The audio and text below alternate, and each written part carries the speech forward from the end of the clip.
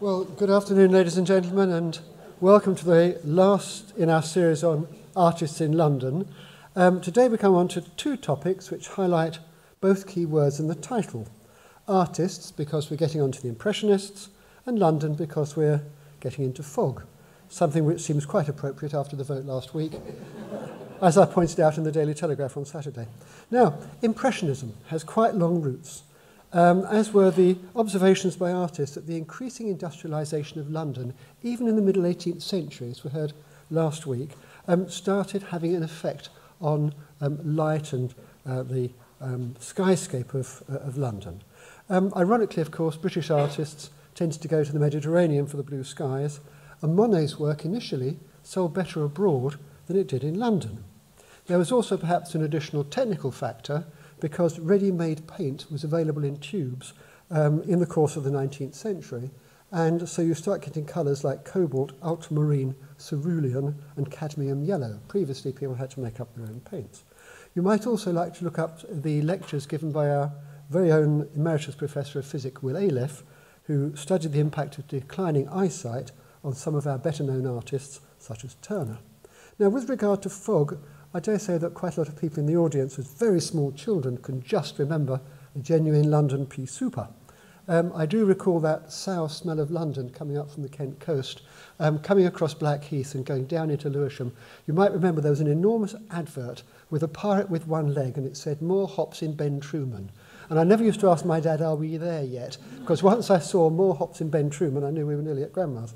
And my grandma, unfortunately, actually died as a result of the last smog. Anyway, fog is something that has almost defined London in some people's minds between the novels of Charles Dickens, the adventures of Sherlock Holmes, and the sinister films of Alfred Hitchcock. Now, Dr. Christine Corton is a senior member of Wolfson College, Cambridge. She's the author of what is effectively a biography of London fog, so she's very well placed to look at its impact on the world of art and the Impressionists. Christine. Thank you, Tim. Um, I'm not sure I've got a lot left to say now. Tim seems to have captured it quite well through this murky vision. Um, first of all, I'd like to thank Gresham College for inviting me, um, and especially Dr. Valerie Shrimplin and her team uh, for helping organising it, and also to, obviously, Tim for introducing me and organising these one o'clock lectures. I think, first of all, for those of us who don't remember London fog, I should really kind of describe the kind of conditions that I'm talking about. This is actually a picture from 1827, London particular. Um, London particular was actually a fond, affectionate name given to London fog. Um, it wasn't coined by Dickens, as many people think. Um, Basically, it was also the name of um, a Madeira wine that was specially imported to London. So I think it highlights the very special relationship that London fog has to London. Of course, other industrial cities did have their own smoke problems, but no one really owned it like London. Londoners were secretly proud of it, so they gave them, um, uh, they gave fogs these very special names, London particular, London Ivy, pea souper, Carl, Carlyle called it black broth. Interestingly, a lot of these uh, names are actually to do with food. So, um, sorry, I realised I haven't timed myself. Um, so they were to do with food, ingesting food, and Bob Hope quipped um, uh, one point when he came over to do, do a talk and got caught in a London fog. He said, well, Californian smog is London fog with the vitamins removed. So, um, um, and then finally we come along to the more modern term smog, which was actually coined in 1904, 1905 by a chemist who wanted to get rid of these very affectionate names. He said, let's get rid of this London particular, London ivy. You know, let's call it what it is, a kind of mixture of smoke fog. Interestingly, it never really took off. People kind of resented it having this quite short, cold name. And in fact, smog is now more kind of um, connected to the kind of haze we get from car exhaust fumes, the kind of smog that Californians know so well. So here we've got this 1827 print, um, and you can see the kind of conditions that we're talking about. Very, very black in the uh, uh, background, people panicking, there's a link lighter there to help light their way, and this poor chap dressed like a dandy with a, yellow handkerchief covering his mouth, indicating disease, um, is about to be knocked over by these horses. Um, lots of accidents in the fog. Um, George Cruikshank, 1819. There we have again a lot of confusion. We have so, some poor lady about to be um, kind of having her neck crushed by this man's leg. Uh, lots of link lighters. Again, this is a theme that runs through a lot of these um, prints and early paintings of London in the fog. Um, link lighters meant to lead you away to safety, quite often associated with crime. If you were very unlucky, you get um, a link lighter who would take you down a very dark alley and his um, companions would sandbag you, knock you out, and take all your valuables. Um, there we have one link lighter who's, you know, seems to be about to singe that man's beard, um, and generally mayhem, etc. Is that one actually pinching something from his pocket? And uh, again, traditionally, the horses and carriages looming through. Another one from a later time, 1872. Again, link lighters, adding more confusion than light. Um, an umbrella drop there. The horses again looming, looming through. And there's a pickpocket um, taking um, that poor man's um, watch. These, I think, are fog glasses. I'm not sure how seriously they were taken. Um, in fact, there's a Punch cartoon which shows fog glasses for horses as well. Um, I'm not entirely sure they worked, but there were lots of kind of attempts to kind of reduce the impact of fog. Um, and actually, interestingly, even from the early 19th century, there were attempts to reduce the smoke in the air. Don't think that it's just a 20th century phenomenon that we dealt with this um, rather nasty um, air pollution problem. It killed animals, birds. This is a poor swan that would have been flying around above the fog, could not find anywhere to land, and would actually fall down um, uh, in uh, an exhausted state and be hit by a car. London Zoo reported that lots of animals, especially with white fur, white feathers, would actually constantly try to clean uh, their, their plumage and would actually ingest the very large particulates from the smoke um, from the coal fires um, and would therefore have a very shortened life and would quite often actually suffocate from those particulates. Unfortunately, because London fog always kind of, it was very common during the winter months, quite often the Smithfield Cattle Show would actually coincide with um, um, a foggy outbreak. So there's one particularly bad one in 1873 when probably about 80 um, heads of cattle had to be put down or died from suffocation. And when postmortems were done on their, their um, lungs, they would be filled with this black bile. They literally couldn't breathe. Um, so people with vulnerable lung conditions, the elderly, the very young, um, would actually um, suffer. Joseph Haydn said in 1791, there was fog so thick that one might have spread it on bread. Um, he, in 18, um, 1891, the novelist George Gissing also noticed the effect of fog on mental well-being, referring to a thick black fog which penetrated every corner of the house. It could be smelt and tasted. Such an atmosphere produces low-spirited languor, even in the vigorous and hopeful.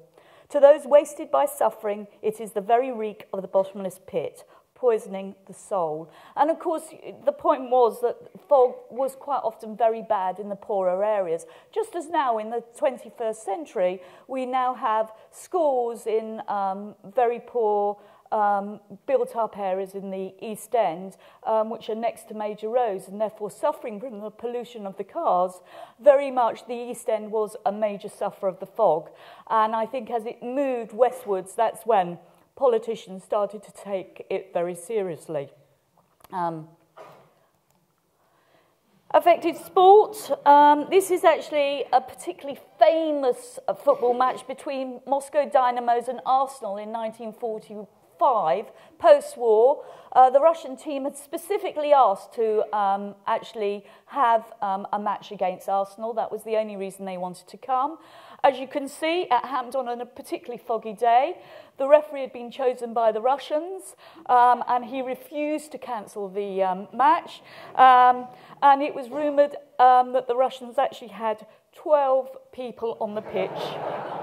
and they won 3 2.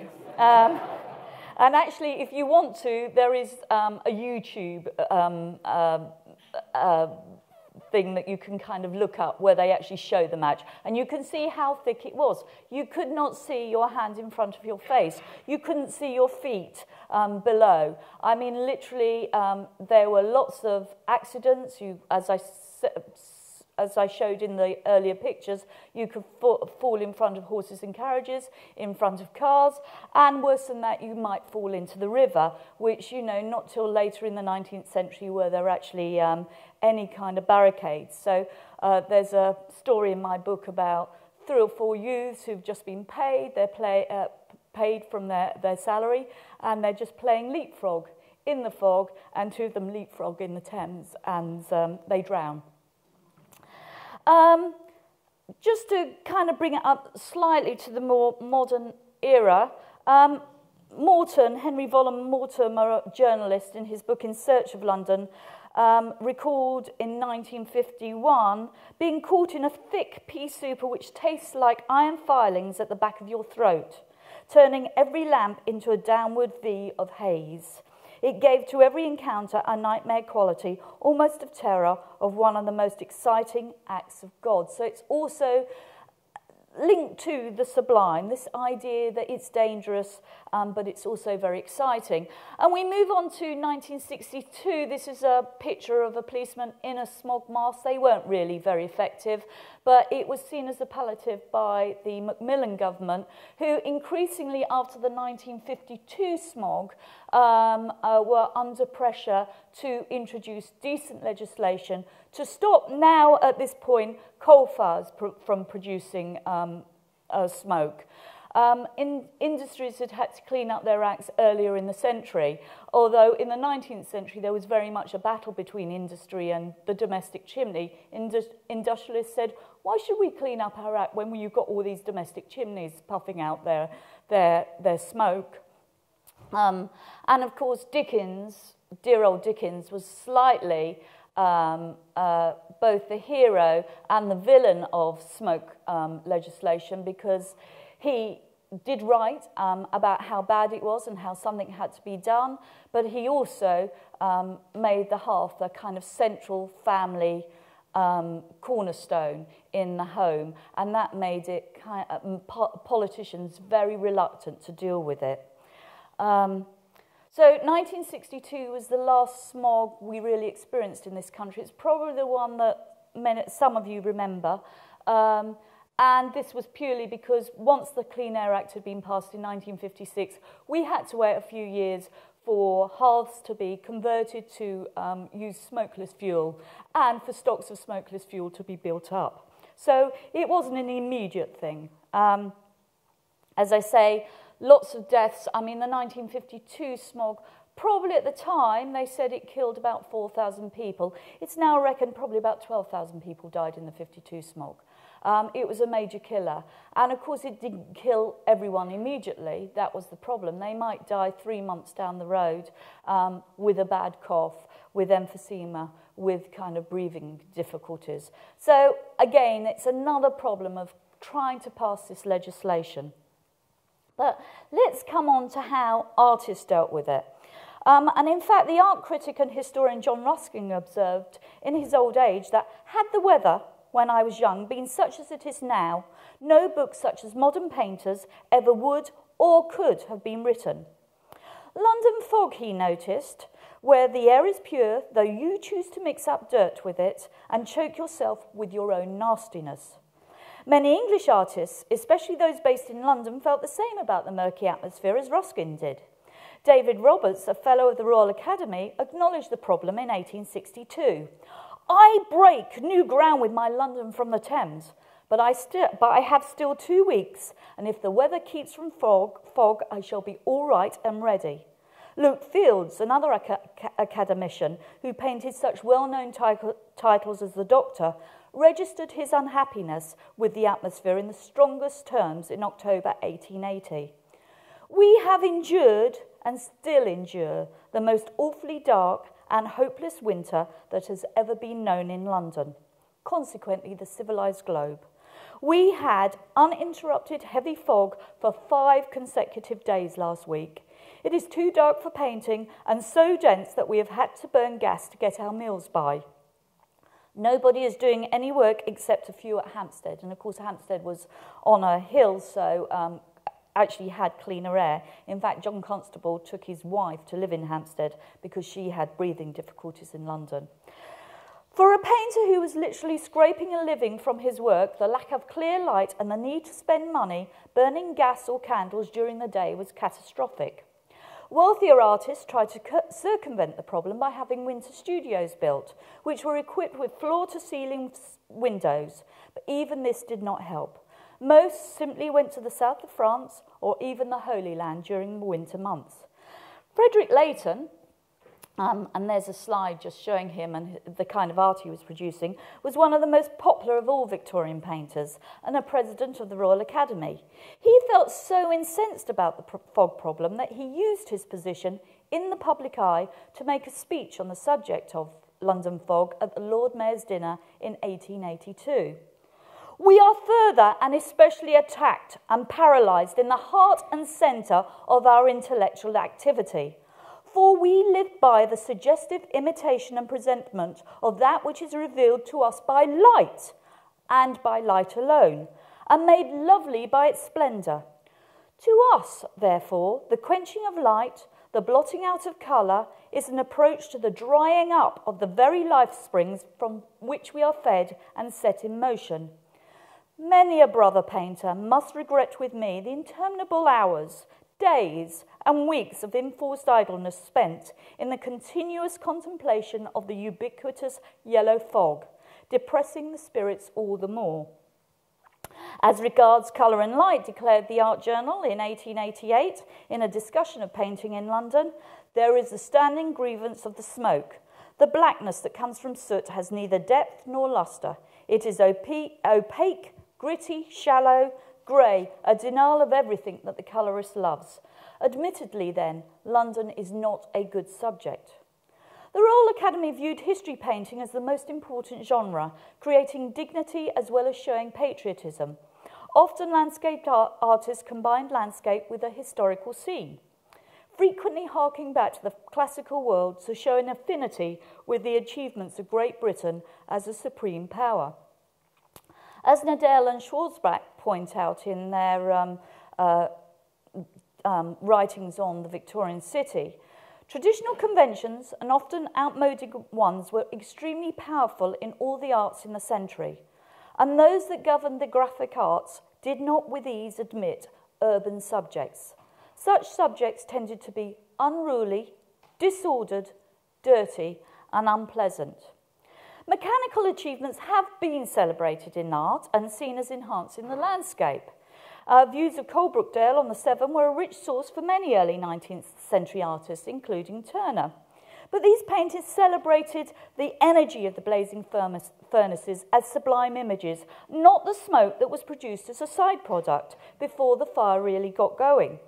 The great engineers and industrial architects of the late 18th and early 19th centuries were esteemed not only as public benefactors, but also as true artists whose works enhanced the landscape. By the 1840s, however, the impact of industry on the landscape came to be seen in a more negative light. And as one commentator remarks, the alliance that had grown up in the later 18th century between science and art had a common foundation of humanism. When political economy abandoned the humanitist standpoint for the defence of property, the link between science and art was broken. In addition, by this time, many buyers were prospering manufacturers, industrialists, part of the new upper middle class, who preferred clear skies and clean lines. Turner, not surprisingly, painted one of the earliest pictures of London's fog in the 1835 painting The Thames Above Waterloo Bridge. Turner, as a true born Londoner, is advertising his familiarity with London's air problem by putting smoke and atmospheric pollution at its centre. And as you can see in here, the bridge is the central element, um, which is a theme that's later taken up by Monet. And it's, um, it's partly obscured by um, uh, the steam and smoke which rises from both sides of the river. Um, here we see a shot tower, I think you can just about see it, um, which was constructed in 1826. Um, do you know what shot towers are? They produce shot for um, uh, guns, ammunition, and they were very smoky, one of the more smoky in industries. Um, but it's barely visible, as you can see, um, um, as are the various industries on the Lambeth side of the river. Um, there's on this side, there's a, a steamship um, about to dock or preparing to leave. It's black smoke thrusting up to join the kind of swirling arc of smoke there. Um, William Rodner sees this painting as a potent essay on the energy and complexity of modern polluted urbanism. Smoke, I think, here represents a flourishing economy which brings employment and food on tables, but also the dirt and pollution associated with its fumes. All seems to be tainted by a sulphurous yellow. Even the black plumes of smoke from the two funnels of the steamer have yellow streaks in them to give them a greater sense of movement and vitality. The swirling, foggy vapours on both sides of the river do meet in an arc. Um, uh, thus echoing the arches of the bridge as well as symbolising the connection between the city's technology of chimney stacks from factories and funnels of the steam, steamboats and by implication the message that the smoke will not stay still but will move to connect itself over uh, the whole of the city.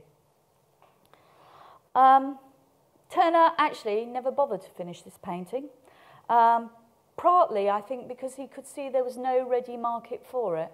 Um, in spite of the fact that I think it's a rather beautiful painting. And also Canaletto, which I know you've heard about last week, still had a, a major influence with his um, clean lines and sun, sunlit skies. In fact, you know, there's barely a wisp. Uh, I mean, there's some smoke there, but it's hardly obscuring the whole view. It's a much more ordered um, view of London. Um, The acceptable portrayal of art, of art is revealed, of London is revealed in a painting by John O'Connor, um, who exhibited this painting in 1874. It very much reflects the style of Canaletto. Um, he even positioned himself in the same, on the same terrace of Somerset House to echo Canaletto's paintings of the same view some 130 years before. Um, this painting is actually a celebration of the new, newly completed um, embankment. But you can see, again, there, there's evidence of smoky industries um, pushing their smoke up to, to the sky. But this is a very ordered kind of view of London life again. Um, you've got the um, people, uh, the woman in the pram, I can't see it properly from this angle, and of course the soldiers noting that everything is okay um, in England's capital city. And there you see the kind of reassuring view of St. Paul's as well. Um, a building that, of course, suffered massively from smoke and fog and was pitted with kind of black um, from the atmosphere. Another successful painter of London was David Roberts, who we mentioned before. He undertook a series of views of London in the 1860s, which were actually criticised in Blackwood's magazine for the absence of fog or smoke. The, well, there's more there, I think, but you know, um, you've got the yellowing clouds there um, and the steamboats there. Um, but again, none of it's really obscured. Black Blackwood's critic um, wondered if the painter had confused the city with Venice. While a writer for the Saturday Review lamented that we fail to recognise, whether in figures or shipping, the traffic that's really peculiar to our own river. In point of fact, Mr. Roberts has treated us to a foreign importation. But Roberts had a wealthy patron, Charles Lucas, who owned the contracting firm which built the Metropolitan and District lines. Roberts would not have risked offending such a loyal patron, patron who bought all of his paintings. But worse was to follow for another English artist, um, William Wyllie. Um, He aroused fierce criticism for his disagreeable representation of London in his painting London from the Monument. Um, uh, which is 1870. It began well by being honoured with a position on the line um, in the Royal Academy in 1870. It depicts London, as it suggests, from the top of one of its tallest structures at the time. You've got Cannon Street Railway Bridge there in the centre. Again, this very this common theme that the bridge should divide um, the paintings in two. Um, it divides um, it divides it into the foreground kind of industrial um, buildings of the south side and the railway shed of the station. Um, beyond the bridge lies London, almost submerged in this kind of yellow fog, um, obviously caused by the numerous smoking chimneys of the houses and factories. London is almost dissolving under a Turneresque yellow vapour, and the Houses of Parliament in the distance have become indistinct shadowy shapes. I think they're there. Um, the painting did not sell well and received damning criticism from the art journal of that year. The city seems a vast pandemonium. The picture is undoubtedly clever and yet disagreeable. Worse was to follow when, according to Mrs. Wyllie, a picture dealer known as Little T came into Wyllie's bedroom where the painting was hung. He looked at the picture for some time and said, What do you want for it? Bill named his price. T said, I'll tell you what I value it at. He took out his penknife opened it, reached over, and stuck the blade right into the middle of the canvas. There's a critic. Um, it was foreign artists who made the difference between seeing the foggy atmosphere of London. It was foreign artists who made the difference between seeing the foggy atmosphere of London as a nuisance and seeing the potential of painting light through the fog and mist within the urban setting. James McNeill Whistler arrived in London in 1859. Um, John House suggests, beginning in the early 1860s, mist and fog became an increasingly central element in Whistler's paintings of the Thames. These paintings were not intended to highlight the atmosphere in problematic terms and relate it to problems of air pollution. So he's not linking the kind of the factories and chimneys, uh, household chimneys, to the actual fog problem. They reflected his wish to aesthetise the visual experience. So here we got Battersea Reach from Lindsey Houses, which is a view actually from Whistler's house in what is now Cheyne Walk, Chelsea. And it shows the Thames smothered by fog. This actually took seven years to complete, so it shows the difficulty Whistler had with the concept. Um, a Thames lighter, as indicated by the brown sails, attempts to find its way home. There's a kind of mystique e Eastern quality about it. You know, these, uh, the, the almost the kimono-like dress, the parasol, parasol, etc. Um, as I say, he's not really uh, interested in showing the source of the fog uh, in the smoke of the river steamers. For him, it's just a means of capturing the light through the haze. Um, and of course, he would have been aware of the constant steamboat traffic living so close to the Thames that his view would have actually been um, of the Morgan Crucible Company and Price's Candles factories on the other side. The faint mode, mound in the top left um, is actually coal slag heap in Battersea Shore with a church next to it on a far off island. But it faced the same fate as the others on this subject. It was rejected by the Academy, and as with Turner's earlier work, it was never finished and certainly never sold. But he didn't give up. In 1881, um, he started this view of central London in the fog. It's called Nocturne in Grey and Gold Piccadilly. Um, it took only two years to complete, so he was obviously getting a bit faster with them. Um, and I think that contemporary London would have recognised uh, a scene all too familiar. It's actually a picture that both evokes mystery and fear, I think. Um, the back background seems to be a kind of empty chasm. Um, um, I mean, we know there are things there, but they're just looming there, the dark shadows. Um, the street lights and the brighter windows are to give the overall impression of these looming towards the viewer, um, as in fact they often seem to be on a foggy night, which is the link light as the lights would quite, quite often be more of a distraction than a help. The horses and people are ghostly silhouettes whose form appears to be dissolving before our very eyes. The people on the top of the carriages um, uh, in the foreground appear to be floating on air. The eeriness and the ghostliness are enha- further enhanced by the flares of the link lighters, which I think you can see in the backgrounds there. Um, it reveals a world um, disappearing into formless, formlessness beneath the weight of the yellow-grey fog. The Kensington News actually described this painting as one of the most enchanting little atmospheric gems one could well desire to possess. In spite of this, it failed to find an immediate buyer with a desire to possess it when it was exhibited on Bond Street that May. Wouldn't we quite like the chance to make, a, make an offer for it now? It was actually Whistler's aim, as I've said, to aesthetise London fog. As he said in his famous 10 o'clock lecture, which I've put on there of 1885, and when the evening mist clothes the riverside with poetry, as with a veil, and the poor buildings lose themselves in the dim sky, and the tall chimneys become campanile, and the warehouses are palaces in the night, and the whole city hangs in the heavens, and fairyland is before us, then the wayfarer hastens home. The working man and the cultured one, and I just want to point out the use of the word cultured because it will come up later in Oscar Wilde, and the cultured one, the wise man and the one of pleasure, cease to understand as they have ceased to see, and nature, who for once has sung in tune, sings her exquisite song to the artist alone.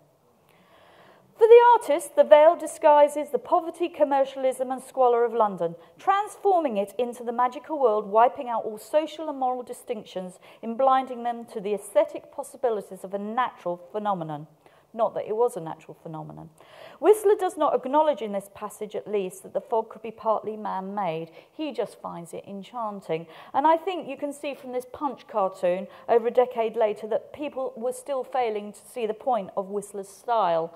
Um, the Winter Art exhibitions, no one can see their way. Um, can anyone help me out here? I think you can see. You probably got a better view of it than I have. Another great painter of London fog was, of course, one of the leaders of the Impressionist movement in art, and so we move on to Claude Monet. It was his work, Impression Sunrising 1872, which led a critic to coin the word for the movement.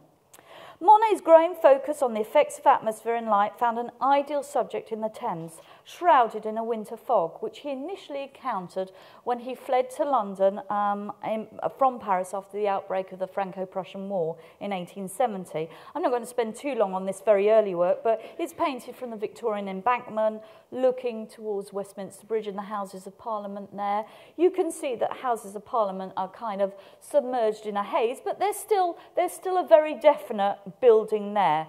The tonal qualities of the blues and yellows suggest the haze that's hanging over London, but it's not really affecting day-to-day -day life. There are still people working there. Um, the choppy river is, uh, we can see that quite clearly. And I point this out because I want to use it as a comparison to later ones. On a later visit, um, in order to study the impact of the changing atmosphere of London, he took a room on the sixth floor of the Savoy Hotel from September to November 1899, returning to the hotel twice more in order to complete his work. During his second stay, he was unable to use the same room, so he actually had to content himself with a room on, with a similar view on the fifth floor.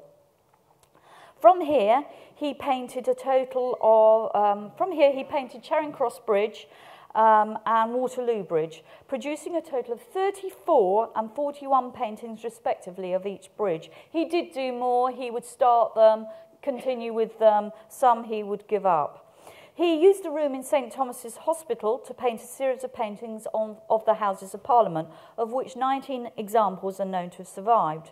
This series of paintings took about five years um, to complete, showing the complexity of trying to capture his impression of a fleeting moment. So let's start with Waterloo Bridge. And I think one of the things you have to look at is how substantial the bridge is in this one.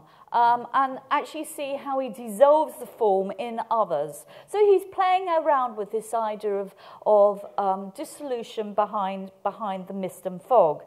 Um, and of course, he had become increasingly interested in multiple versions of the same motif or theme. He wasn't actually interested in landscape, but the sensation produced by the landscape. He wrote that he wished to create a kind of synthesis where I would sum up in one canvas, sometimes two, my impressions and sensations of the past. He wanted these to be kind of exhibited together. He was not interested in representing or acknowledging the industrial or political state of the city except in their atmospheric and material manifestations.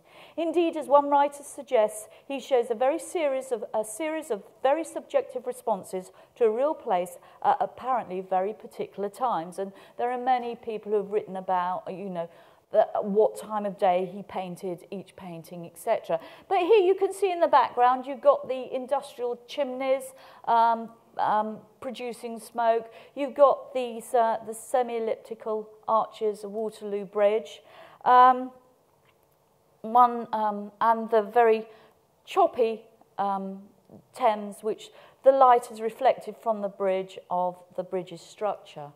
Um, a very beautiful picture, I think. Um, here, that's not a very good um, um, print, I don't think, but it's one reviewer commented in June 1904 that it's the action of light on the antique monuments on the bridges of yesterday or today. And Waterloo Bridge was in fact opened by the Prince Regent in 1870, but it had been brought, it had been a bit of a failure and it had been brought in 1878 by the Metropolitan Board of Works when it was open to the public without tolls. And you can see that it's a very busy bridge. Um, it was in fact torn down in 1934 because of the weight of traffic that would cause bottlenecks. Um, um, but it, in 1934 there was a lot of um, reaction against pulling it down, but um, uh, it was deemed, actually the foundations were deemed not to be um, very strong. Um, there are, in this one again, major hints of the traffic, and again the chimneys behind um, uh, puffing out the smoke into the air. Um, another one, here the bridge is dissolving beneath the weight of the fog. Um, Waterloo Bridge in, in fog here, we're given a view of foggy London, which again is highly coloured. The sky and the river are made up of shades of purple, both reflecting the Thames and the sky reflecting the same colours. On the bridge, again, there's a sense of people, omnibuses, but we can't really see it. We've got a, we can see these boats um, um, on the Thames uh, who continue uh, working. But again, I think very strongly you have a kind of connection between the smoking chimneys of industry and the fog that is caused by it. Um, here we've actually given, again, the view that Monet would have seen from his hotel on the other side of the river. The Lion Brewery stood with its sculpture of a lion um, on top, and two shot towers can be seen there as well. The scenes are divided horizontally again into by the bridge. Um, this bridge again looks less solid than in the previous two. Um, the flashes of light and the image of dissolution is enhanced by the dark reflections which are broken up by the choppy waters. Does it inspire a sense of desolation? I think it has been noted that in his later works, uh, after the 1880s, the sociable mo motifs of the 1860s and 70s gradually ebb away, and we more frequently see images of loneliness and of nature and of nature's sublime power. Monet wrote, I adore London. It's a mass, a whole, and it's so simple. But what I love more than anything in London is the fog interestingly.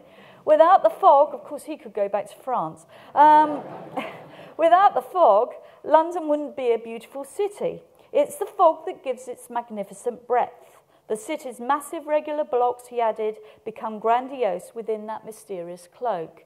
And later he wrote in 1918 to René Gimpel, London is the more interesting that it is harder to paint. The fog assumes all sorts of colours. There are black, brown, yellow, green, purple fogs, and this is actually true that many scientists noticed that there were fogs were made up of these different colours. Of course, they were hints of different colours: yellow, black, greens, purples, all of which Monet has managed to um, pick out. Um, and he said the interest in painting is to get objects as seen through all these fogs. My practice eye has found that objects change in appearance in a London fog more and quicker than in any other atmosphere, and the difficulty is to get every change down on canvas. Um, we move on to the series of Charing Cross Bridge, um, um, which um, again he did um, quite a few of. It, this was actually a railway bridge, um, totally different from Waterloo Bridge.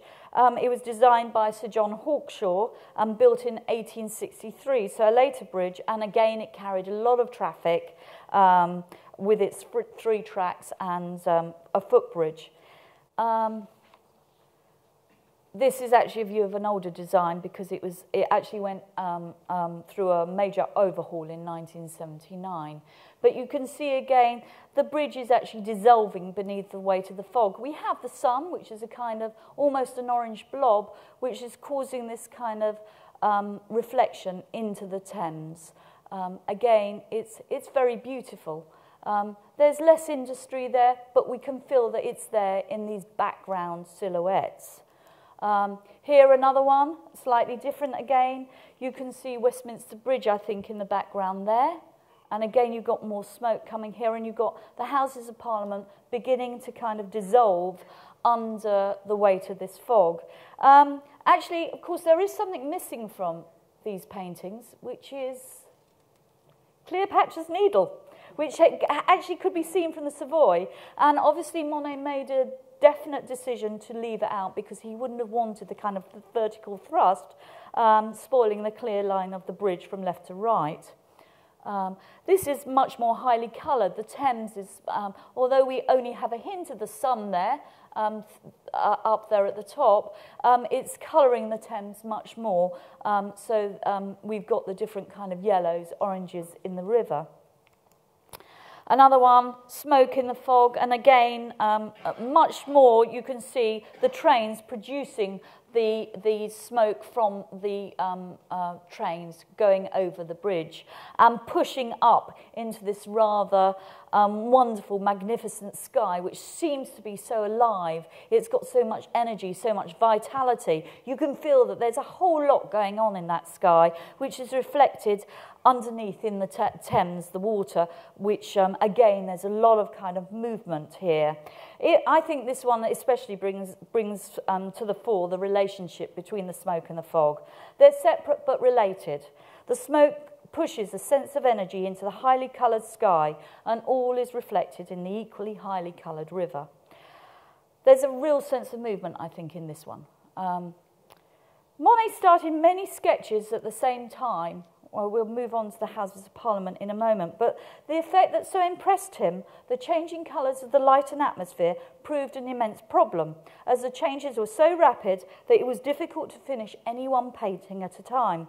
So he started on several canvases and went back to them when he figured the light was similar. In this way, he started over a hundred paintings, many of which he destroyed or never finished.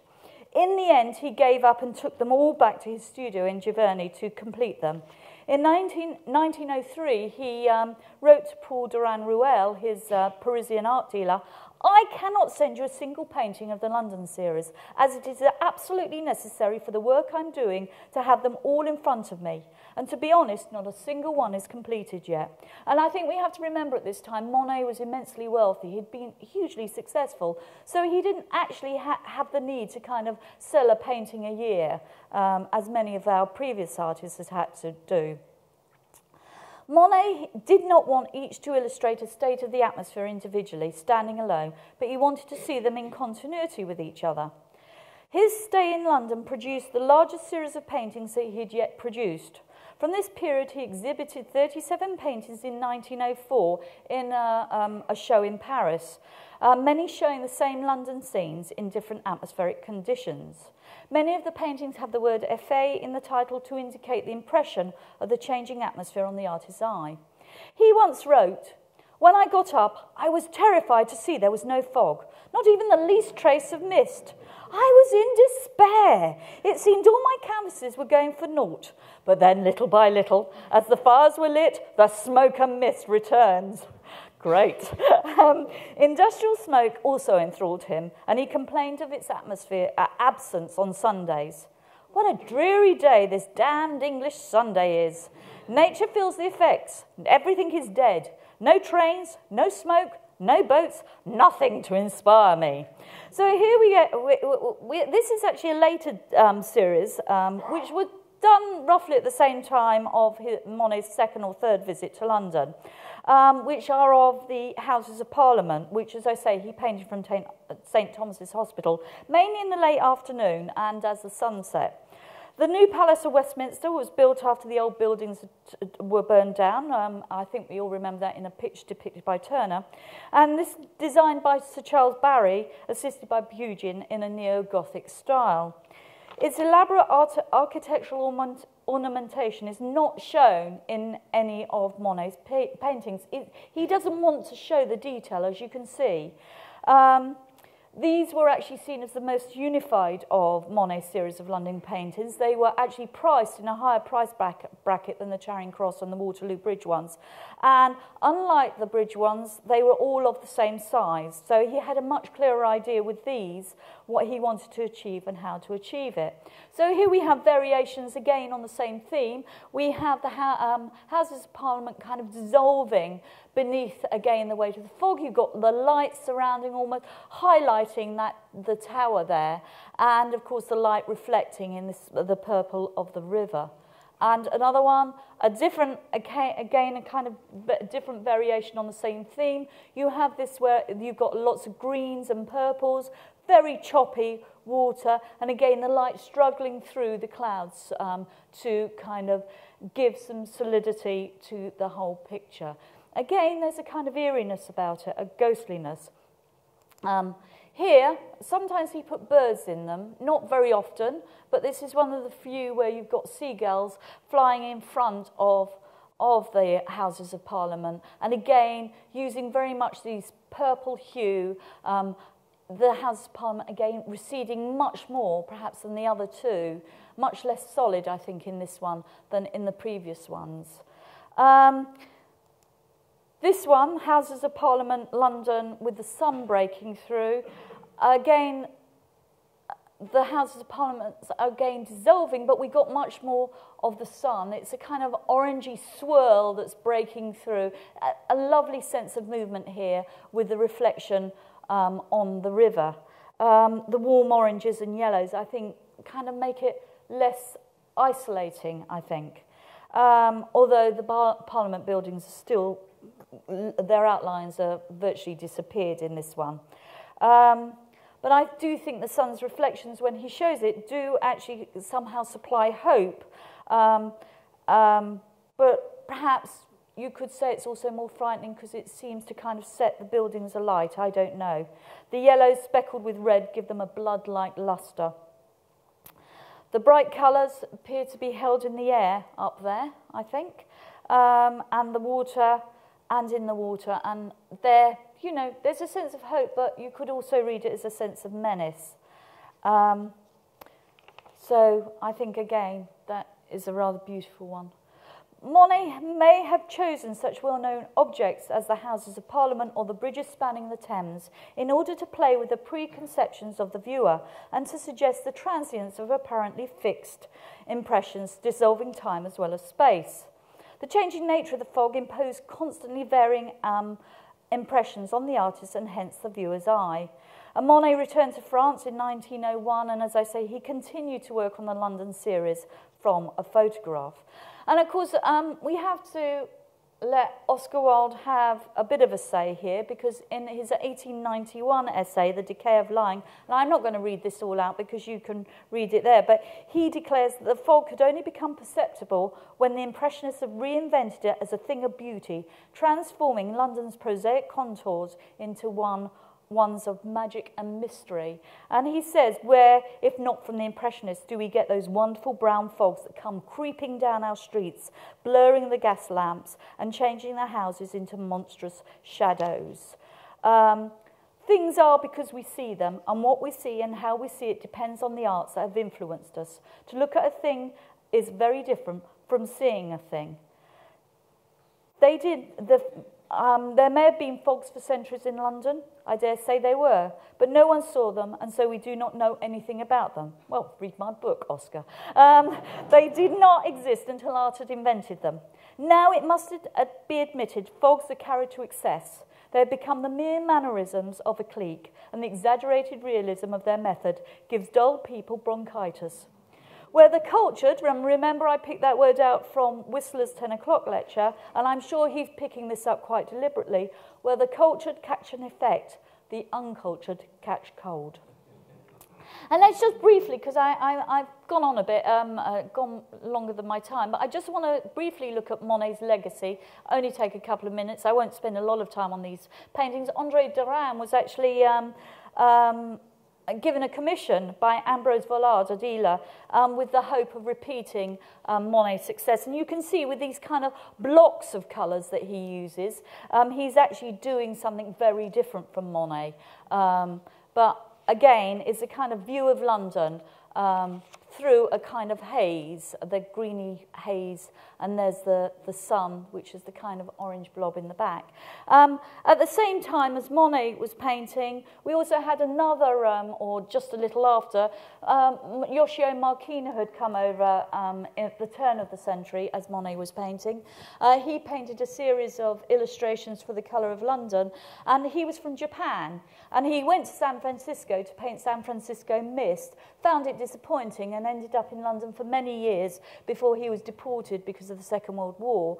But um, you can see he paints a much prettier uh, view of fog. He's got these two women who are beautifully dressed. He loved doing dresses. Um, but again, there's a sense of danger. Are these women about to step out into the road in front of these horses and carriage, just as in our earlier um, um, views. And here is another one from The Colour of London by Yoshio Markino, a kind of, as you look over the bridge, you look into this kind of foggy well. Um, and actually, it reminds me very much of Bleak House, uh, the opening pages, uh, where people look down into this kind of foggy, uh, this well of fog. So, um, another um, inheritor of um, London paintings uh, 1924, C.R.W. Nevinson, the famous war artist. Again, you can see how he's dealing with the smog. He's got this, um, again, the bridge going across with the, the train, uh, the smoke going up into the sky, but it's much more a pinky hue and much more reassuring, I think. Um, so um, that is just a kind of very quick view of London fog. I could, of course, go on to the 20th century when people like John Virtue, who was the artist in residence at the National Gallery, paints London in very um, black and white colours. And there's no doubt that even though the fog doesn't exist anymore, he's thinking, uh, he's painting London with that historical view. If you want to know more, uh, my book is actually in the bookshop. I, forgive me for the plug, um, but there's lots more in it about legislation, jokes about London fog, believe me, there were many, and uh, punch cartoons. I, I hope you enjoyed this talk. Thank you very much.